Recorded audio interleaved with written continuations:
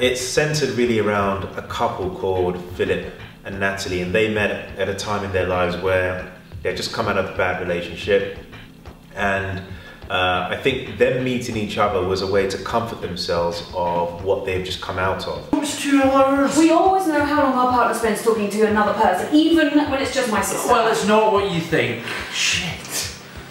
And they are the catalyst for all the other characters in the play, and so they sort of serve as a platform where every other character gets to really question who they are and whether they are really living out their truth facing who they are.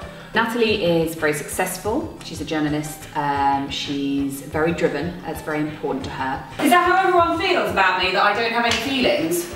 She feels like she has to be in control and she doesn't let herself be vulnerable in her family. She's the eldest sister, so she's had to look after everyone.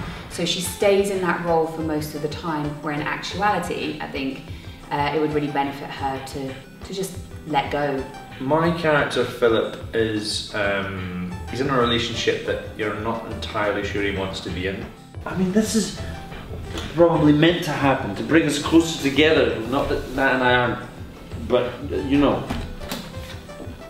You know what I mean. Trying to. His actions have consequences and reactions and stuff, and because he's not sure of what he wants, he doesn't know how to act. Sometimes when we're not truthful enough uh, with our partners, it can lead to um, problems. I think. Wait, wait, wait. Let me.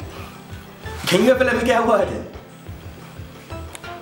I think it's an insight into the society that we live in today with social media and the politics. I'm just surprised they even post all that shit.